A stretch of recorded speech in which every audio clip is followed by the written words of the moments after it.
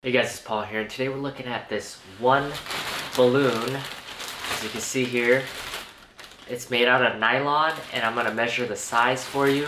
Uh, we bought this specifically for our first, uh, our daughter's first birthday party, and we used it as a decoration on a, uh, basically a backdrop of balloons, kind of for decoration and for kind of like a photo booth. I'll post some pictures here so that you can see right now.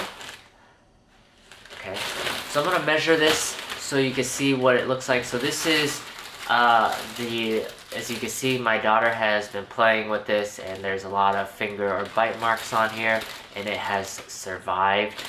Uh, and it's a little deflated and it's been about three months now since the birthday party.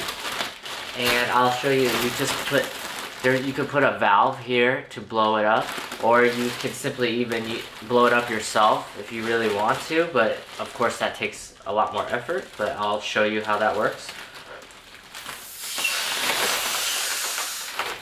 So now it's fully inflated once again. And I will measure it for you, just so you can see the size. It's from one end to the other.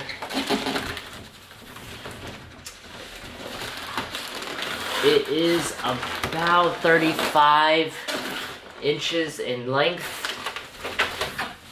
And the widest part on the bottom here is about 14 inches. So, I hope this video helps you, and thanks for watching.